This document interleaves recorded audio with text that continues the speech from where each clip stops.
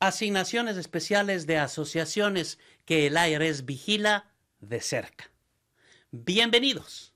Antes de iniciar, por favor, suscríbase a este canal, dele un me gusta a este video y comparta. De esta manera, este canal puede seguir haciendo este tipo de videos para una educación tributaria de calidad. Aquí empezamos.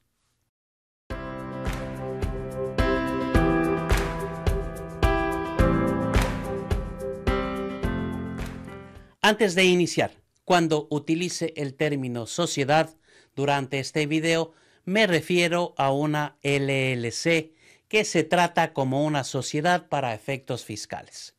Y el término socio me referiré a un miembro de la LLC que se trate como socio a efectos fiscales. Una de las ventajas de llevar una empresa como sociedad es el derecho a realizar asignaciones especiales de partidas fiscales entre socios. Tiene la misma oportunidad si dirige un negocio como una LLC, que se trata como una sociedad a efectos de los impuestos federales. Entonces, ¿qué es una asignación fiscal especial? Esta es una asignación de un elemento de pérdida, deducción, ingreso o ganancia de una sociedad entre los socios, que es desproporcionada con respecto a los intereses de propiedad generales de los mismos. Antes de la promulgación de la sección 704 del Código de Rentas Internas, algunas asociaciones explotaron asignaciones especiales para proporcionar beneficios fiscales a los socios que estaban completamente desproporcionados con su inversión en la asociación. Estos refugios fiscales asignarían grandes pérdidas a ciertos socios inversionistas, quienes podrían usar estas pérdidas para compensar su obligación tributaria sobre otros ingresos. Para frenar este abuso, el Servicio de Impuestos Internos ahora requiere que una asignación especial tenga un efecto económico sustancial. Esto significa que debe hacerse por una razón que no sea evitar las obligaciones fiscales. Antes de ahondar en esto, pasemos a los impuestos de transferencia. Cuando la sociedad asigna sus partidas fiscales entre los socios, las cantidades asignadas, incluidas las asignaciones especiales, se transfieren a los socios en sus anexos anuales K1, recibidos de la sociedad. Luego, cada socio toma en cuenta los montos transferidos informados en el anexo K1 en la declaración de impuestos federales sobre la renta del socio. Le dejo aquí el link del formulario también. Esto estará en el formulario 1040 para un socio individual.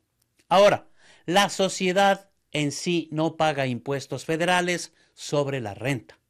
En cambio, los socios sí pagan impuestos a nivel de propietario. Esto se llama impuesto de transferencia porque las consecuencias fiscales de las actividades de la sociedad se transfieren a los demás socios. Para las personas que dirigen una corporación S, el principio de transferencia de impuestos también se aplica aquí, pero no se le permite realizar asignaciones especiales de partidas del impuesto de sociedad S entre los accionistas. En su lugar, deben asignar todos los elementos impositivos estrictamente proporcionales a la propiedad de las acciones.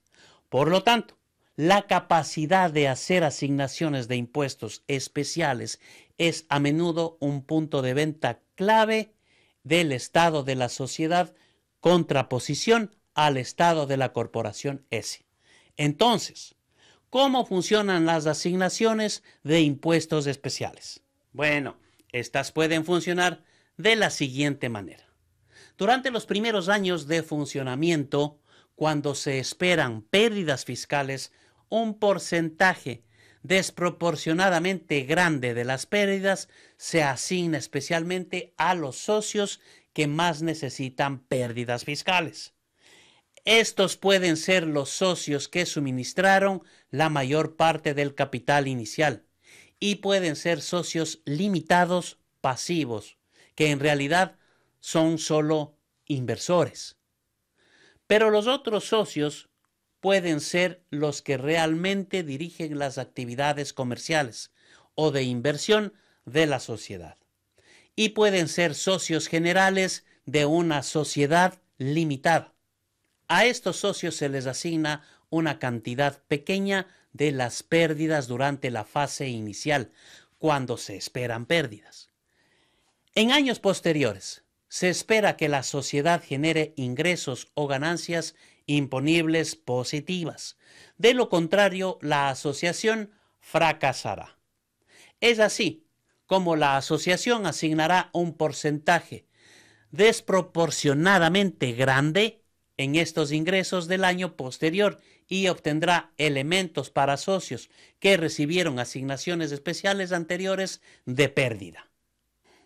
Después de que estas asignaciones especiales de ingresos y ganancias por los últimos años hayan compensado las asignaciones especiales anteriores, todas las partidas del impuesto a las sociedades se asignan en proporción a los porcentajes de propiedad declarados por los socios. Es ahí cuando la fase de asignación especial de la asociación termina.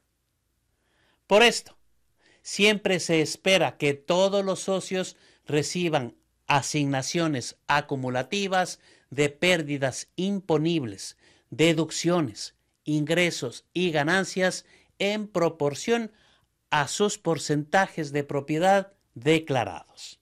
Por lo tanto, las asignaciones especiales simplemente afectan el momento en que los socios reconocen pérdidas, deducciones, ingresos y ganancias.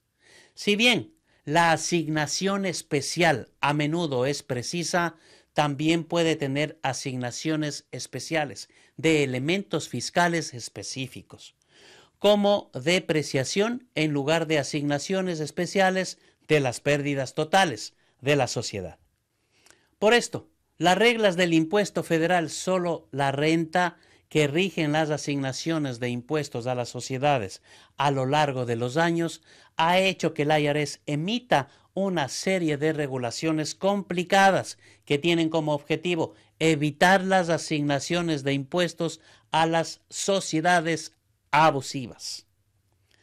Las regulaciones antiabuso se conocen como reglas de efecto económico sustancial. Las reglas son un método de puerto seguro para asignar partidas de impuestos a las sociedades para fines del impuesto sobre la renta federal. Si las asociaciones logran seguir las reglas, el IRS no puede impugnar sus asignaciones de impuestos. Las asignaciones especiales que tienen un propósito económico serán respetadas por el IRS y pueden ser muy útiles para las asociaciones donde una de las partes contribuye con la mayoría del capital y la otra aporta habilidades y esfuerzos.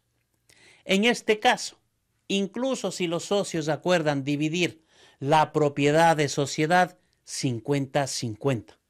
Pueden acordar permitir que el socio de capital reciba el 80% de las ganancias hasta que se devuelva su contribución, después de lo cual las ganancias se distribuirán de acuerdo con la propiedad relativa del socio.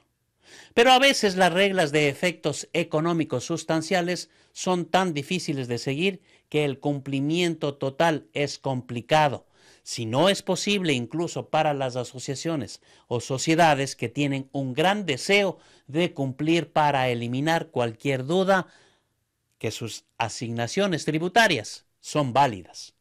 Sin embargo, para terminar, si se intenta realizar esto, lo más importante que hay que destacar es que por lo general se debe mantener las cuentas de capital de los socios que reflejen cómo se asignan entre ellos las pérdidas, deducciones, ingresos y ganancias.